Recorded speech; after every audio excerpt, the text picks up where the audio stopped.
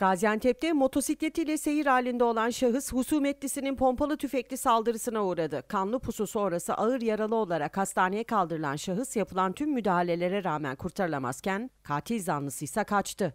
Olay dün akşam saatlerine doğru Şahinbey ilçesi Kurban Baba mahallesinde meydana geldi. İddiaya göre Serdar Kılınç isimli şahıs alacak verecek meselesi yüzünden telefonla tartıştığı ismi öğrenilemeyen husumetlisiyle buluşmak için sözleşti. Motosikletiyle buluşma noktasına doğru seyir halinde olan Serdar Kılınç, yol güzergahında pusu kuran husumetlisinin pompalı tüfekli saldırısına uğradı. Saldırı sonrası vücuduna çok sayıda saçma isabet eden evli ve bir çocuk babası Kılınç ağır yaralandı.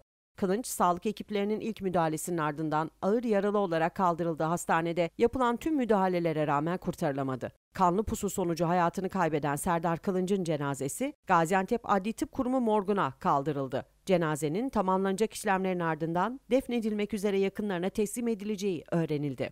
Öte yandan Serdar Kılınç'a kanlı pusuyu kuran ve ismi öğrenilemeyen katil zanlısı ise kaçarak izini kaybettirdi. Asayiş Şube Müdürlüğü Cinayet Büro Amirliği ekipleri kaçan katil zanlısını yakalamak için geniş çaplı çalışma başlattı. Olayla ilgili soruşturmanın ise sürdüğü öğrenildi.